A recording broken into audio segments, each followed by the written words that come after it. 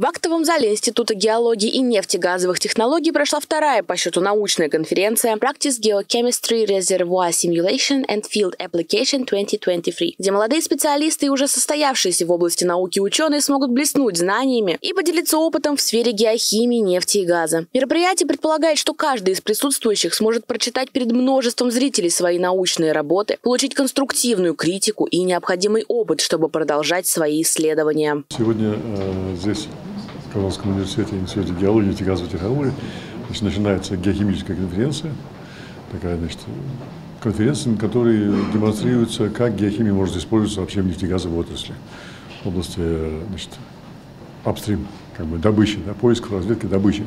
Вот такая очень интересная конференция. Программа конференции затрагивает наиболее актуальные на сегодняшний день вопросы как геохимии месторождений нефти и газа, так и цифровизации нефтегазовой отрасли России. Кроме того, это отличная возможность для аспирантов и магистрантов представить свои научные труды, которые посвящены смежным темам, завести рабочие знакомства и обменяться знаниями в области гидрогеологии, геохимии и гидродинамического моделирования. Сегодня геохимия стала таким, знаете, очень важным и новым инструментом. Почему? Потому что, во-первых, очень много хороших приборов появилось, которые могут очень точно измерять самые разные значит, характеристики геохимические. Это состав, элементный состав, химический, молекулярный состав, изотопный состав нефти, нефтепродуктов.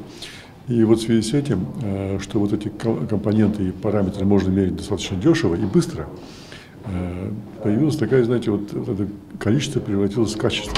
По итогам конференции авторы лучших работ получат возможность опубликоваться в научно-техническом журнале «Георесурсы», где каждый из них сможет вывести свои исследования на новый уровень. Елизавета Газизянова, Фарид Захитаглы, Univer News. Thank